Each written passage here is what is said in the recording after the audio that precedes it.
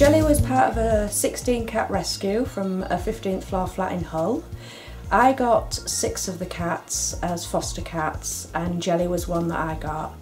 It was straight away noticeable that he would have problems wobbling. Um, the vet said it was neurological. Then he started having fits, not often, but often enough to be concerned.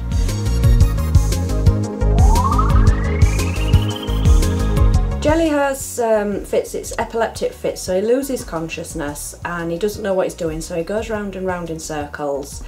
Um, he loses his bladder, so he wheezes everywhere. Um, I try and keep him in the kitchen where there's lino, but sometimes I have to scrub carpets and things.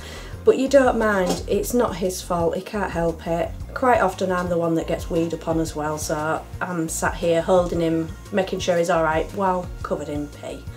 But I don't mind, because you, can't help it and I love him.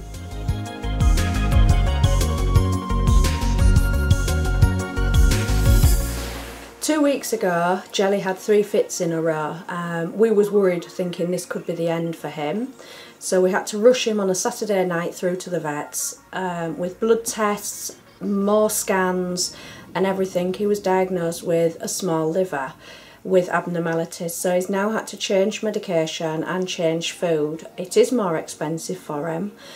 We are a charity that does look after cats that will not put a cat down if it's got a quality of life and as you can see on the video Jelly has got a wobbly quality of life. We love him but he has just cost the, cost the charity a lot of money and we are asking if anybody would love to sponsor our cat. If 30 people could sponsor him at £5 a month, that would cover his vet bills for this last time he was in the vets and hopefully that will give him the rest of his life with us.